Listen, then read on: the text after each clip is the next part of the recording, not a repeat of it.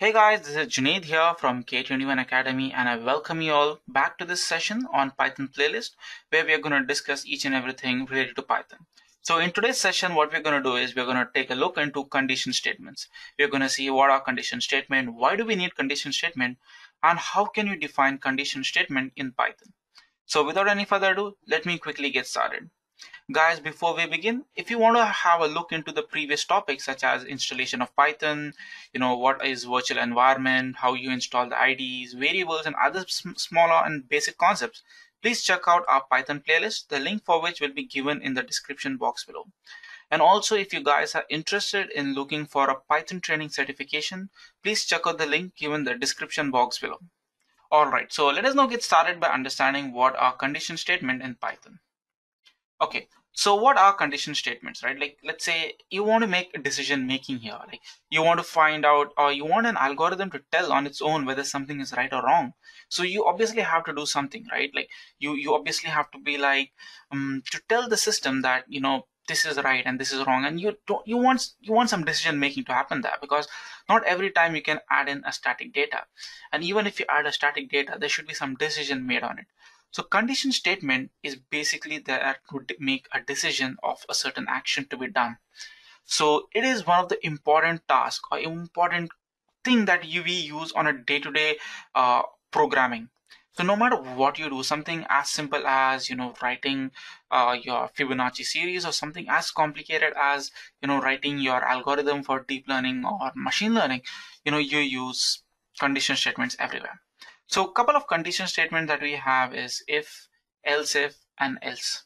So what we're going to do now is let's move to our code editor and the code editor as you know that I'm going to use is Jupyter Notebook. If you don't know how to work with Jupyter Notebook, please check out our uh, you know tutorial on Anaconda and the link for this would be present in our uh, Python playlist so it will be there in the description below. So what we're going to do now is we'll jump to my code editor. And as I said earlier I'm going to use uh, Jupyter Notebook. I've already opened my Jupyter Notebook over here and we're going to see how we can work with our files. Okay? So starting off with the first thing okay? We have let's say a variable here okay? As we have discussed earlier variable is anything that stores a value right? So let's say 5 and I want another variable let's say b i'm going to assign a value as 5.5 a floating point value okay? Now condition statement is something like um, if a is greater than b or if a is less than b i want a certain thing to be printed out okay? So if a is greater than b print a. Okay here what i'm going to do is i'm going to um, teach you how to do string formatting okay? So let me say I want to add in a value. A is greater than b okay?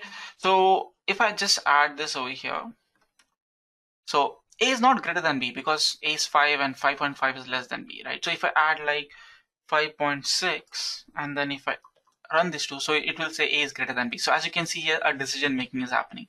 At the same time if I reduce the value of a and if I print this so you will see that you won't be able to see the value of a. Now let me do one thing. Instead of uh, writing a is greater than b I want a value over here.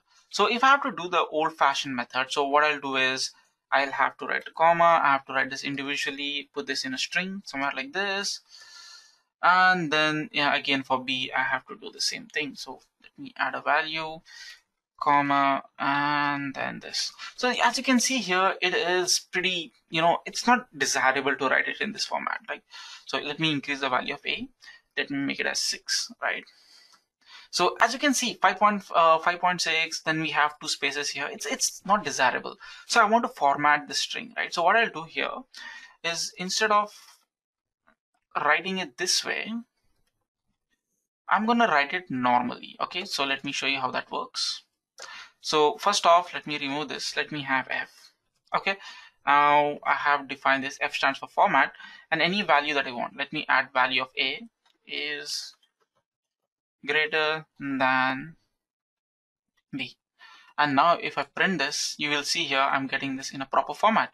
And now if I reduce this, so it doesn't print anything. So this is if statement. Now the other way that i can have a condition statement right? So let, let me say that um let me say um else right? So i don't like if this happens else something else right? So else let me add a value. Let me copy a print statement from here. And let me go down to else print. Instead of this what i'll do is if a is not greater than b obviously b is going to be greater than a right? So let me add value of a here and b here. For run this you will see here 5.5 is greater than 5 so 5 is the value of a here and 5.5 is the value of b.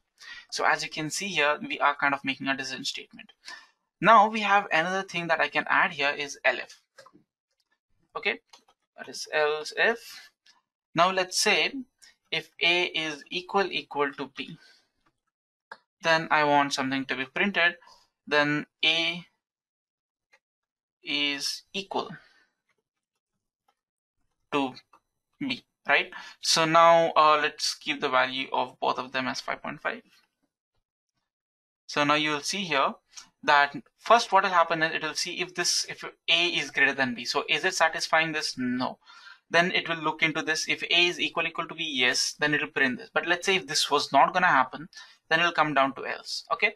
So now i can just write this all right so it's giving me an error so let me fix this so as you can see here, it's elif 5.5 is equal to 5. So this particular block of code is getting executed and we are kind of making decisions over here.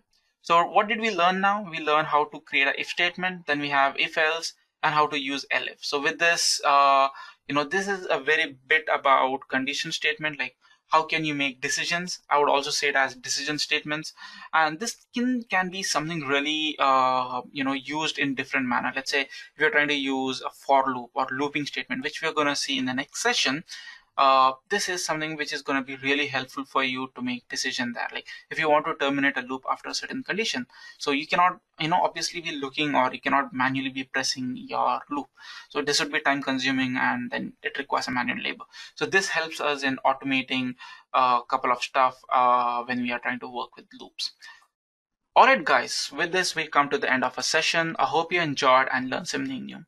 If you have any further queries, please do mention them in the comment box below. So guys, before I end this session, there's something that I want to give you guys, right? So before you purchase our course, we would like you to give a trial to our free class. So free class is basically a concise or demo version of our paid courses. I know the courses are pretty. It's something like you know when you invest money or that, you you might not be sure, right, like whether this course belongs to you or not. So this is why we introduce something called as free class over here. So with this free class, what happens is you can register yourself and you know attend a class for two days and see if this course is for you or not. So before I show you how you can register yourself for a free class, let me show you how our learning path of our course would be. So the course over here would be divided into eight weeks. So in the first week, we would be, you know, dealing with some of the basic concepts like, you know, introduction to Python, objects, and, you know, some basics of it. And then we straight away move down to looping statement. Then we have the OOPS concept that we deal in the next by, by third week. Once you come down to the fourth week, you'll be dealing with exception handling, you know, how to deal with errors and various other concept that goes there week five and six you'll be dealing with you know generators and then how to use you know numpy and pandas matplotlib and plotly these are some of the libraries that you need when you're trying to start off with uh, data science. Finally in week seven you will be introduced to big data that is you know how to use apache for big data technologies finally in the week eight we'll be walking you through you know how to build your cv interview preparation and all of that. I know seven weeks is like you know it's impossible to learn a programming language. But let me tell you something guys. With our live course you would be able to see this n number of times. And also you know whatever you have uh, achieved in your live class we have you know uh, the recordings of that so that you can come back and watch it again and again. Apart from this this course would be um, available for you for, throughout your lifetime so that you know it's it's always there in your hand so this is a bit about a learning path of a course. So as I've promised earlier that, you know, I'm going to show you how you can register yourself for our Python for data science and data engineer. So let me do one thing. Let me quickly go to my uh, browser. So here, let me open Google Chrome. So for this, what you got to do is you got to type uh, k21academy.com slash python02. So Yep. So if I have this and if I hit enter, you will be presented with a screen something like this, wherein it says free live class. And depending upon when you're, you know, booking it, so you'll have various classes. Usually we tend to have three sessions because we know we have people uh, applying for different areas. Like we have uh, different time zones. So you can definitely, you know, register yourself here.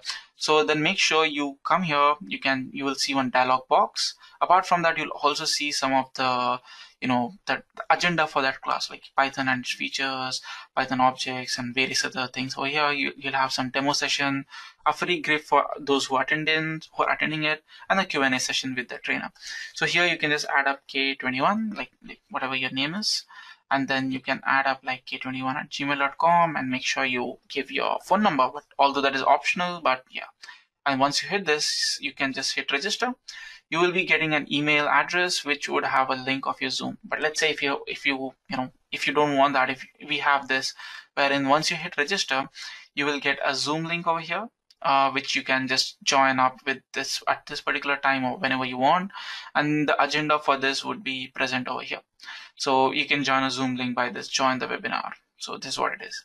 So we also have a youtube channel and a telegram channel which you can join over here. And this would help you out with you know if you have any queries about questions or something you know one of our uh, trainers would get back to you on that. All right guys uh, we come to the end of this session until next time goodbye and take care